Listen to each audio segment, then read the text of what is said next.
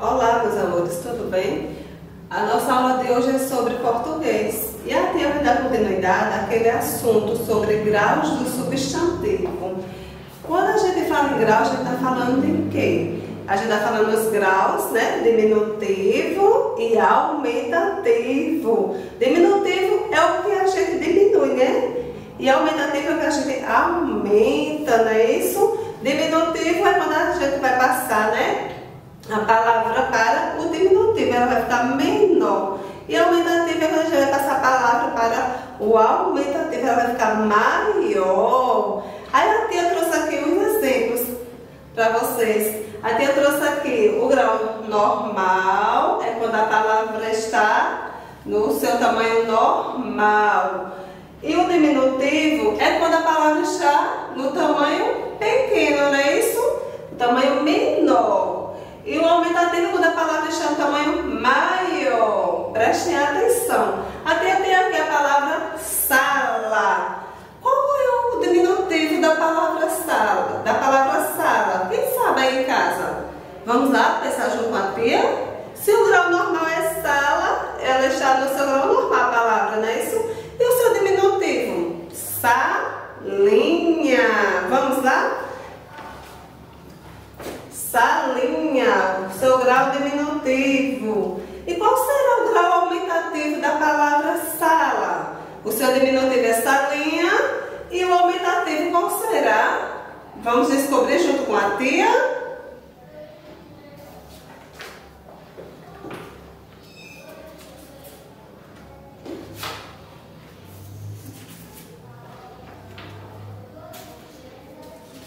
Seu grau aumentativo é salão. Então, o grau normal, grau diminutivo e o grau aumentativo. No grau normal é sala e o grau diminutivo, salinha e o aumentativo, salão. Prestem bastante atenção. Agora tem aqui a outra palavrinha Fogo. Qual é o grau diminutivo de fogo? Quem sabe em casa o grau diminutivo de fogo? Vamos descobrir junto com a tia qual é? Foguinho. Seu grau normal é fogo, diminutivo foguinho e aumentativo. Quem é que sabe aí em casa? Qual será o seu grau aumentativo? Fogareiro. gente, só vocês prestar atenção no seu grau normal, diminutivo e o aumentativo. Agora aqui a tia tem outra palavrinha, muro. Qual será o grau diminutivo de muro? Qual será? Murinho. Murinho é o seu grau diminutivo. A palavra está no seu grau normal, que é muro. Aí a tia colocou ela aqui no diminutivo que ficou murinho. E o seu grau aumentativo vamos descobrir né, junto com a tia. Qual será? Eita, muralha. Muro, murinho. A tia agora tem outra palavra aqui, boca. Mas tia, qual o grau diminutivo de boca? Eita, vocês sabem em casa? Olha aqui o grau diminutivo de boca. O grau diminutivo de boca é boquinha. E qual será o grau aumentativo de boca? Se o diminutivo é boquinha, qual será bocão? Será que é bocão?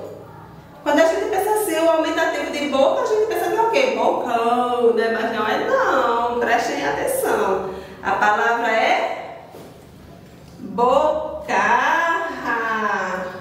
Eita, como é fácil, tia. Nós temos aqui outra palavra, a palavra nariz. E o diminutivo de nariz, tia, qual será? Nariz. Quem tem o nariz é, pequeno, pequeno, tem o nariz, narizinho, não é isso? Nariz, narizinho. E qual o aumentativo de nariz? Quem sabe em casa, qual será o aumentativo de nariz? Vamos lá, né? Descobrir junto com a tia. Olha aqui qual o aumentativo de nariz. Narigão. Nariz, narizinho e narigão.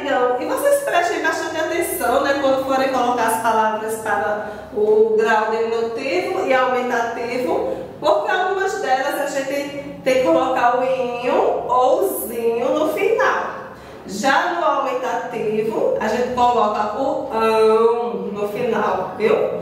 O ão sempre termina, né? No finalzinho da palavra. Aqui, ó, salão e narigão. Prestem bastante atenção nas terminações quando for passar as para os graus, né? Diminutivo e aumentativo. Tá certo, meus amores?